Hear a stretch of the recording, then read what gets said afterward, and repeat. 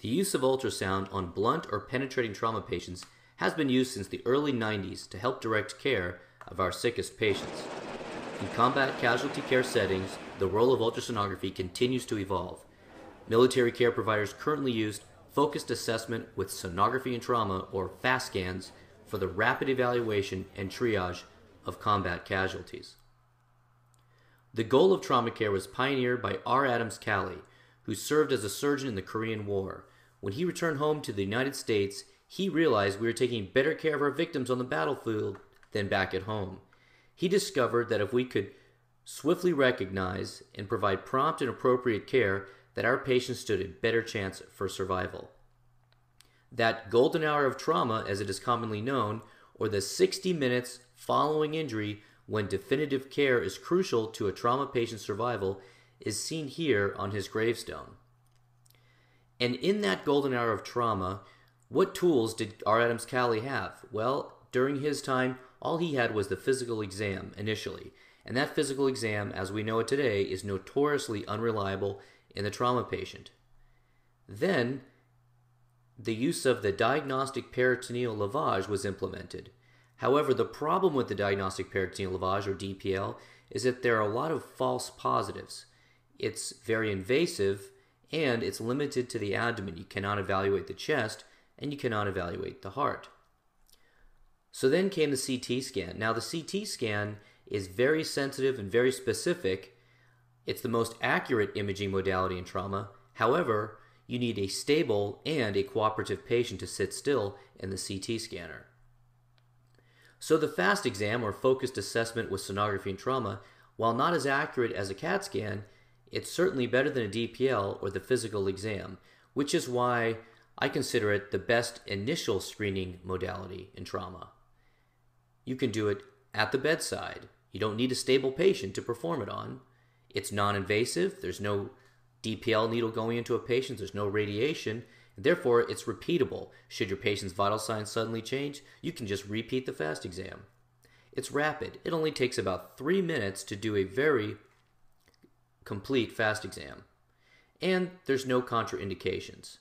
Even in a patient who has an obvious need for laparotomy, before they go off to the operating room, it's important to look at their heart and look in their chest to find other abnormalities. The indications to do a fast exam blunt or penetrating trauma to the abdomen or the chest. When you have a patient who's pregnant in the trauma bay, now you're really dealing with two patients. And anytime your patient suddenly becomes hypotensive, if you have unexplained hypotension, you can help you can use the fast exam to help guide the next therapy. So it's not just for the abdomen anymore. It used to be called the focused abdominal sonography and trauma, but because we're evaluating other organs and other places in the body, we now call it the focused assessment of sonography and trauma. So we're looking for hemopericardium, hemoperitoneum, and hemothorax. The windows for the FAST exam, well, it starts in the right upper quadrant. With the indicator pointed towards the patient's head, we look between the liver and the kidney. Then we move on to the heart. There's two views of the heart. One where you look in a subxiphoid view or underneath uh, the sternum, and the other one where you're looking parasternally or in that third or fourth intercostal space.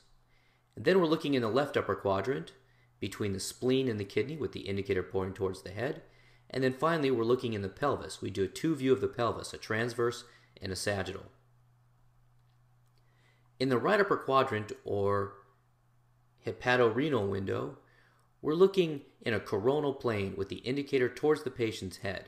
Now, it's not just a static window, but you really do need to fan uh, anteriorly and posteriorly, getting through all potential windows of that Morison's pouch. That hepatorenal window or Morison's pouch is the interface of the liver on the kidney. Now, this is the most dependent portion of the peritoneal cavity, and so in a supine patient, this is the most likely site that you will find blood. And again, it's not just a static window. Instead, you're moving from the diaphragm superiorly all the way down through the lower pole of the kidney inferiorly. When that lower pole of the kidney comes halfway down your ultrasound window, now you've got the entire fast scan of that window. And this is what it looks like when it's positive. We have the liver, we have the kidney, and you can see some anechoic fluid layering out this sharp angle of fluid here layering out between the liver and the kidney. And that's a positive fast exam when you see that. Moving on to the heart, the two views of the heart. One is the subxiphoid view. Now, the subxiphoid view can be a challenging window to obtain, and uh, what you want to do is start in that right upper quadrant looking at the liver actually, because recall that we're going to be using the liver in order to see the heart. So if the sound isn't first going through the liver, we're not going to be able to see the heart through this subxiphoid window. So in patients who have very small livers, this is a very difficult, if not impossible, window to obtain. You're going to start at that liver edge and follow it up through that subcostal margin, aiming the beam at the chin until you see uh, the heart come onto the screen. And when you do so, it appears as this. You can see a four-chambered view of the heart First thing we see is the liver. As I mentioned, the sound first has to go through the liver, then it goes into the right ventricle, and then finally it makes its way posteriorly into the left ventricle. And then the right atrium is seen on the left side of the window, and here is the left atrium. So it's a four-chambered view. Right atrium, right ventricle, left atrium, left ventricle, and we can see the interventricular septum between here.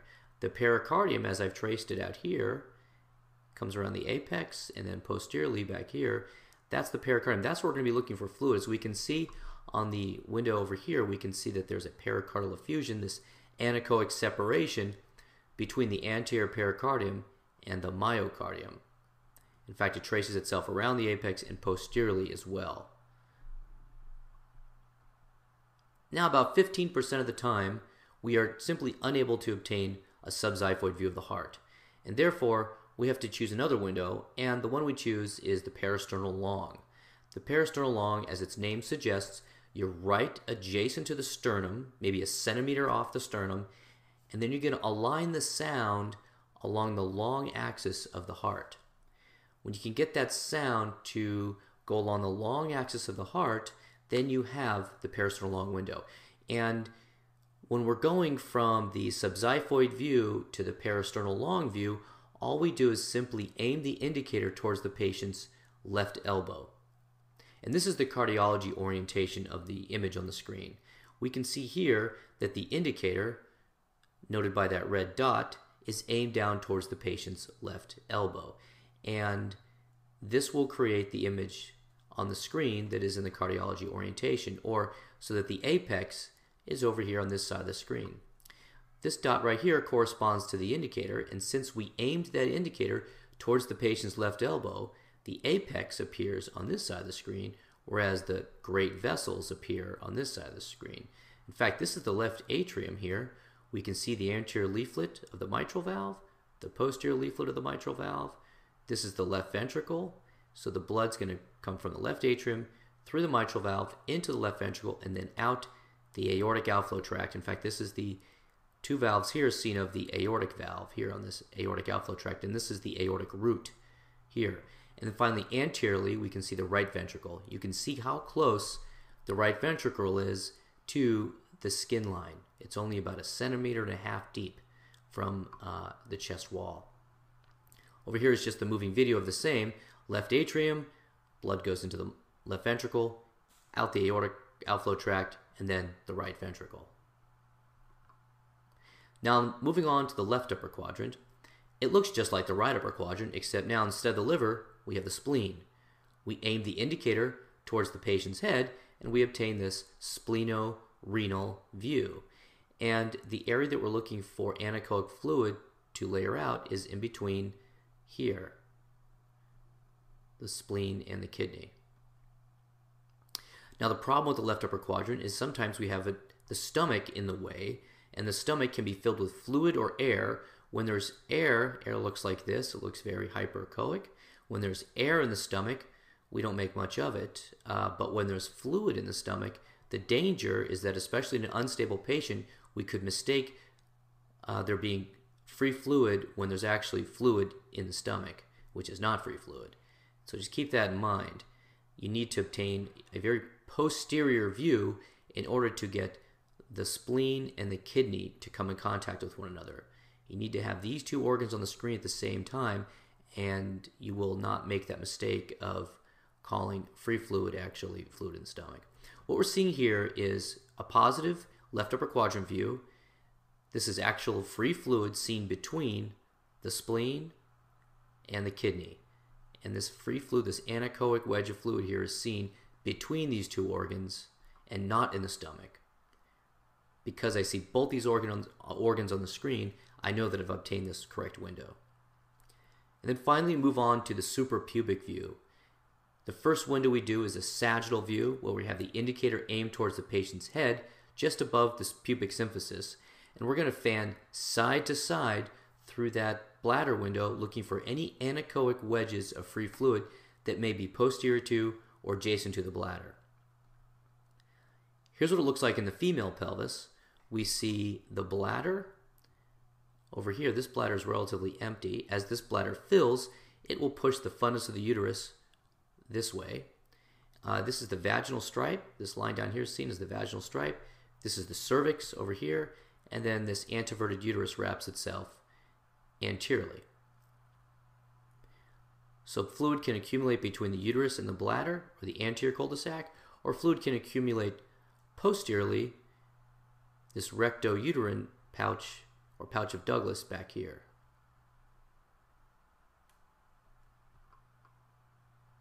Then you get a transverse view, aiming the indicator towards the patient's right, we get a transverse view, and we're going to fan superiorly and inferiorly through that bladder to look for any wedges of anechoic free fluid seen adjacent to or posterior to the bladder. This is an example here of a full bladder, and adjacent to this bladder is this anechoic wedge of free fluid. We see it right next to the bladder here. And that anechoic wedge of free fluid is seen adjacent to our nice full bladder. We can make it out very well. There's some loops of bowel lateral to that free fluid. But that's what it looks like. It's a sharp angle of anechoic fluid seen adjacent to the bladder.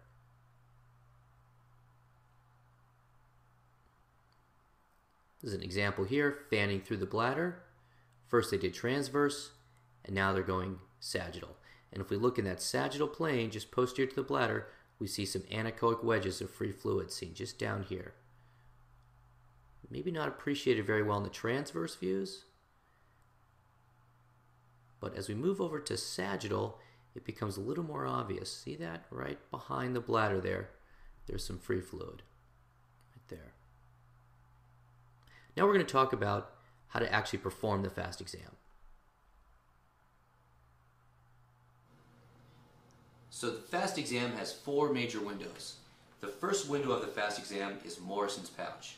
And with the indicator towards the patient's head, we place the probe at about the 10th intercostal space. And what we're going to do is we're going to need to slide the probe superior and inferior, and then we're going to be fanning the probe anterior and posterior in order to see all the way through the interface of the liver and the kidney. The next window of the FAST exam is the subxiphoid view of the heart. We start at the liver. We use the liver as our window to see the heart. We start over here at the liver and then we slide up into the subxiphoid notch. I've got my indicator towards the patient's right and the cable is exiting the bottom of my hand. And I'm fanning and I'm applying more pressure and as the patient takes a deep breath, the heart comes right down towards my transducer. And then the next window of the FAST exam is the parasternal long window of the heart. I place the probe with my indicator towards the patient's left hip. I place the probe right on the sternum and then I simply slide off until I see this long axis of the heart come down my screen. We're getting a long axis view of the heart with the indicator towards the patient's left hip. The next window of the FAST exam involves the splenorenal view. With the indicator towards the patient's head, I'm over this area of the 10th intercostal space with the indicator towards the patient's head, mid-axillary line, and I'm sliding superiorly and inferiorly, trying to get the entire contents of the splenorenal window in my view, and I'm fanning anteriorly and posteriorly until I get the optimal window. Recall that the stomach lies anterior to the spleen, so if I fan too far anteriorly, I'm going to have that stomach in my view, and I really may need to fan more posteriorly, sometimes sliding the probe posteriorly. And the final window of the FAST exam is the suprapubic window. This window is comprised of a transverse view with the indicator of the patient's right, and then a sagittal view with the indicator of the patient's head. In each of these windows, transverse and sagittal, I'm going to be fanning all the way from side to side and anterior, and I should say superior and inferior in order to obtain this complete window.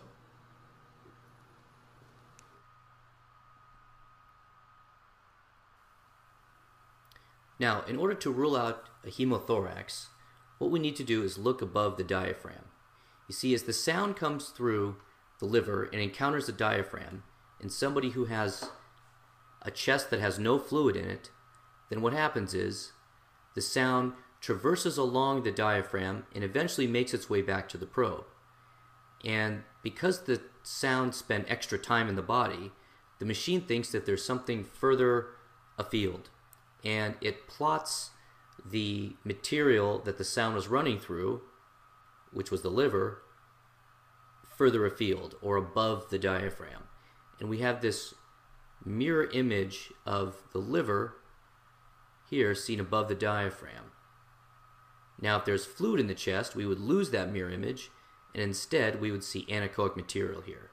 So this is called the mirror image artifact, and when you see the mirror image artifact of the liver, or on the left side the spleen, above the diaphragm, where it appears as though there's liver or spleen up in the chest, then you can say with very good accuracy that there is no fluid in that patient's chest.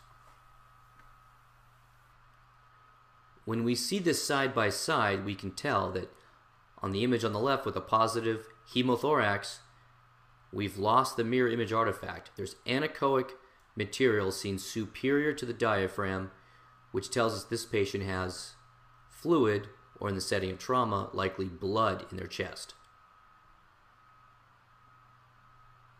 So when I see black stuff on the screen, I think about fluid. And then I think about where is it? Is it above the diaphragm or is it between the kidney and the liver?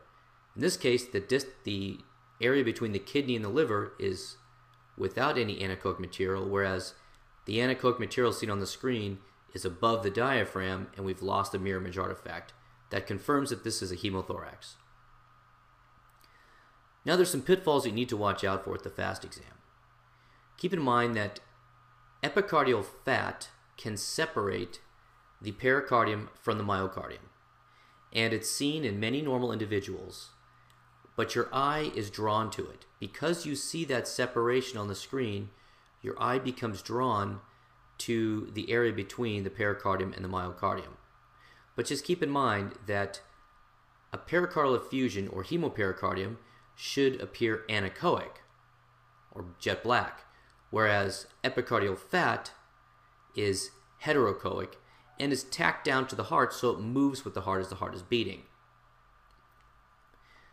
Now, the problem is when you get to a clot around the heart, because a clot is neither anechoic or heterogeneic. It's um, completely isoechoic, or it's the same echogenicity as the liver, you could think, or as the thyroid. It's got this very fine isoechoic texture to it. This is what a clot looks like.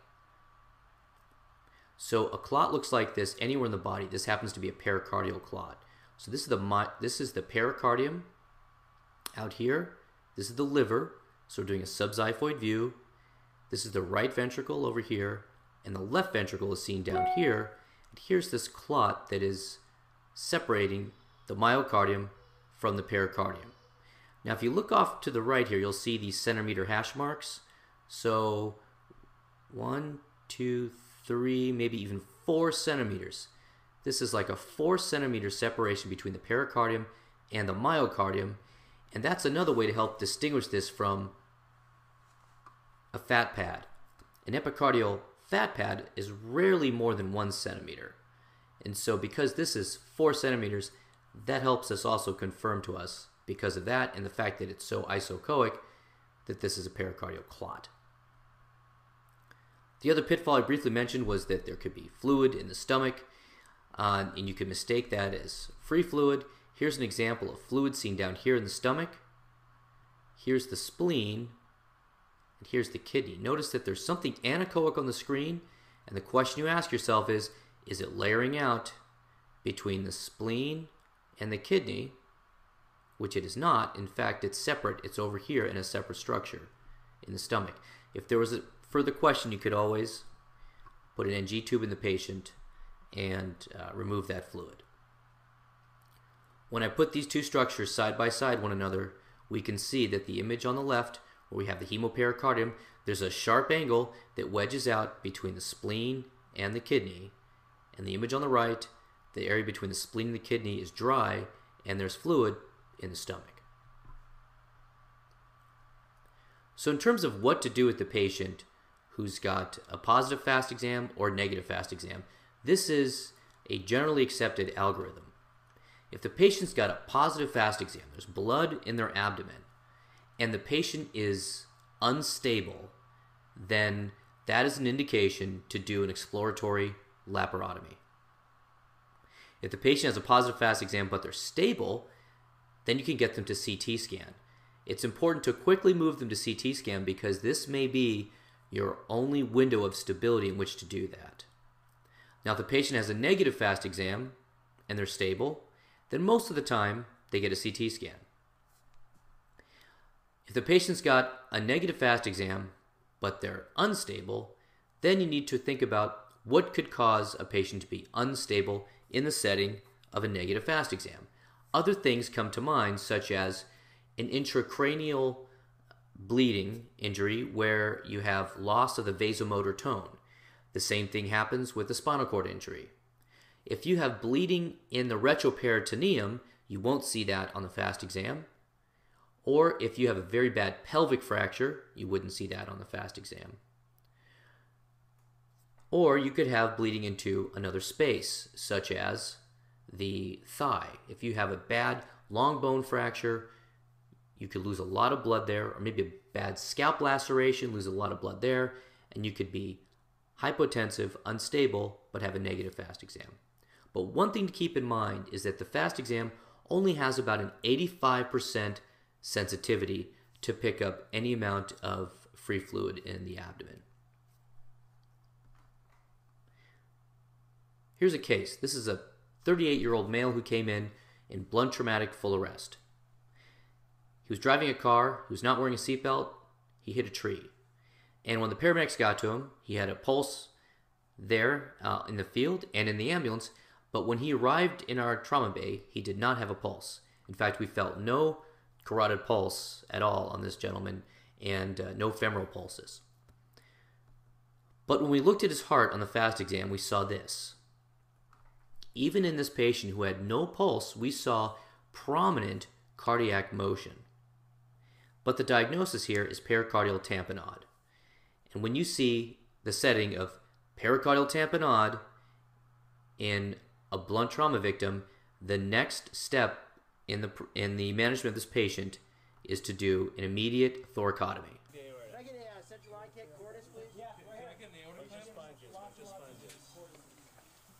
Despite presenting with blunt traumatic full arrest, we realized this patient had pericardial tamponade on the ultrasound. We did a bedside thoracotomy, and this patient survived to discharge.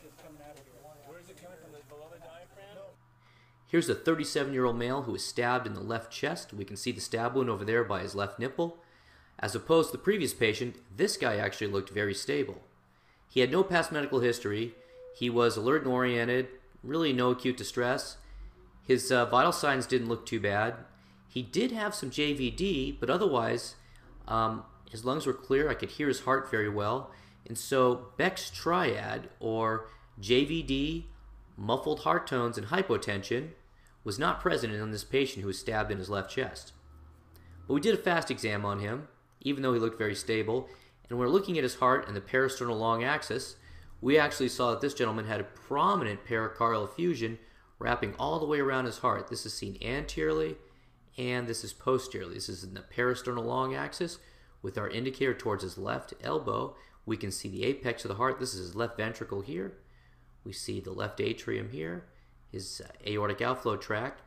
Now this is where his right ventricle is. It's very small here because he has a, a large pericardial effusion that's that is uh, reducing the ability for blood to enter into his right ventricle. That's why we see a very small right ventricle here. Even with stable vital signs, someone can have a large pericardial effusion, and this is another indication in the setting of trauma to do a thoracotomy. Here's a 17-year-old male who came in with auto versus pedestrian, and we're doing the suprapubic window here, and we can see that adjacent to his bladder, there is free fluid. So we call this free fluid in the suprapubic window, right adjacent to his bladder. Now I mentioned that Morison's pouch is the most dependent portion of the peritoneal cavity, but it also depends how a patient was sitting or lying before the paramedics got there. And so in this case, this patient was sitting in an upright position for quite some time. Uh, and then the paramedics, uh, the fire department extricated him. They brought him to the to the trauma bay where he had a significant amount of free fluid adjacent to his bladder. And his Morison's pouch was actually negative. To increase the sensitivity of the fast exam, you can put the patient into Trendelenburg, and that will help get some of this fluid up into Morison's pouch where it's easier to see. We're lucky in this case that we can see it prominently, but if it was a smaller amount of free fluid with all these loops of bowel here, it may be difficult to pick out the free fluid, which is why I'm a favor of that Trendelenburg move. Here's a 28-year-old male who was stabbed multiple times in the chest and abdomen, and we're doing our fast exam. This is the, um, the right upper quadrant view. We can see the liver here. Uh, I don't see the kidney anywhere on the screen, but I do see some anechoic material. So right off the bat, I see some anechoic fluid on the right side. Um, I'm looking, this is all the diaphragm here. It's above the diaphragm, it's superior to the diaphragm, therefore this is in the chest. I've lost that mirror image artifact, and this is what a hemothorax looks like. To continue this window, I'd want to come down and see the interface of the liver on the kidney, but just in this particular window here, I can confirm the diagnosis of a hemothorax. This is a 56-year-old male who fell 25 feet. And we're doing the suprapubic window. And what I first think is the bladder here actually is not the bladder. This is just a lot of free fluid. In fact, I don't see his bladder anywhere. We went to put a Foley in him, and uh, blood came out of the Foley catheter, and we later found out he had a ruptured bladder. But these are all loops of bowel here sitting in this free fluid in his pelvis. So this is free fluid seen in the suprapubic window, though no bladder is seen. Here's another case. This is a 19-year-old male who had a transmediastinal gunshot wound to the chest. And we can see here that this is a parasternal long view of the heart. Well, how do I know this is a parasternal long? Well, if I look at the top of the screen here, I don't see anything that looks like the liver, so therefore this is just chest wall. And in fact, we can see that the distance from the chest wall down into this pericardium here is only about a centimeter, maybe a centimeter and a half or so. And so we can see this fluid, several centimeters here of fluid collection that's going around the apex of the heart and posteriorly, which tells us that this is what hemopericardium looks like on a parasternal long. There's a 29 year old female she was in a rollover motor vehicle collision with a prolonged extrication, and we saw this fast exam. We did the right upper quadrant, and we can see the liver and the kidney. There's no fluid between the liver and the kidney. This is a dry Morison's pouch. But we look up into her chest, and we see that she has a hemothorax up there on the right side. Here's a 46 year old female. She fell down a long flight of stairs. And she was hypotensive. And we're expecting to see a positive fast exam. Instead, we see this. This is just a normal fast exam, a normal mirror image artifact up, up here above the diaphragm. We can see the liver up in her chest. And we see the kidney and the liver. There's no fluid between those two organs there. And the reason for her hypotension, we found out later, was that she had a spinal cord injury. Here's a 29 year old female. She was a passenger. She was T boned on her side at about 30 miles per hour. And what we see here is the spleen. We see the kidney down here. We can see this free fluid here only along the lower pole of the kidney. So if I was only focused up here on that uh, upper pole, mid pole of the kidney, I could potentially have missed this free fluid that was hiding more inferiorly. That's why I say it's important to obtain a full window, whether you're looking at the right upper quadrant or left upper quadrant, you get as far as north as the diaphragm, and you come all the way down south to the lower pole of the kidney. When that lower pole of the kidney comes halfway down your ultrasound screen, then you've completed that window.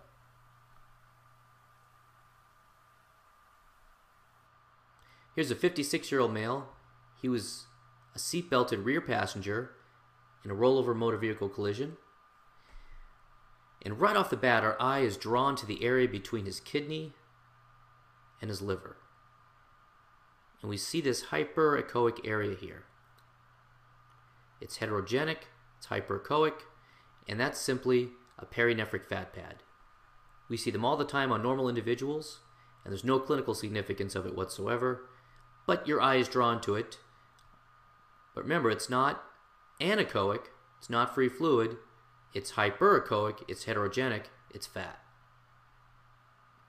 Here's a 29 year old male. He was auto versus pedestrian. We can see his bladder here, prostate back here. And as we go through this transverse window, don't see any free fluid yet. Up, and then I come down inferiorly enough, and there's that fluid hiding just posterior to his bladder. Back here. So we see bladder, free fluid, this is prostate seen back here behind the bladder.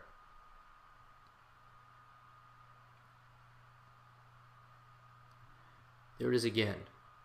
Bladder, prostate, and it's not until we come really inferiorly that we actually make out where that free fluid is. To fan all the way through. That's the importance of fanning all the way through a structure. We would have missed it initially had we not fanned it, and then had we not gone to that other view, the sagittal view here. So we can see the bladder is more triangular in that sagittal view. So to summarize the FAST exam, it's the hepatorenal or right upper quadrant, it's the cardiac view, doing a subxiphoid and then a parasternal long, it's the splenorenal view, or left upper quadrant, and it's a suprapubic view, both a sagittal and a transverse plane.